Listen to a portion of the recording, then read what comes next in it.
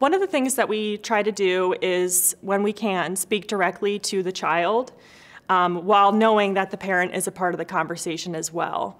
I think parents appreciate when their child is comfortable, and seeing them comfortable makes them more comfortable. Um, so, in speaking directly to the child and providing them the education, seeing if they have any questions first, I think helps to set that comfort level. Then, of course, circling back to the parent or guardian, do you have any questions as well?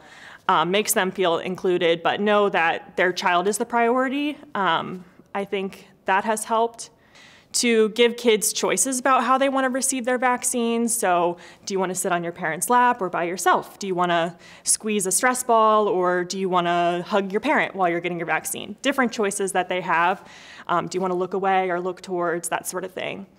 And I think that helps, again, the kid feel more comfortable, which in turn helps their parent or guardian feel more at ease as well.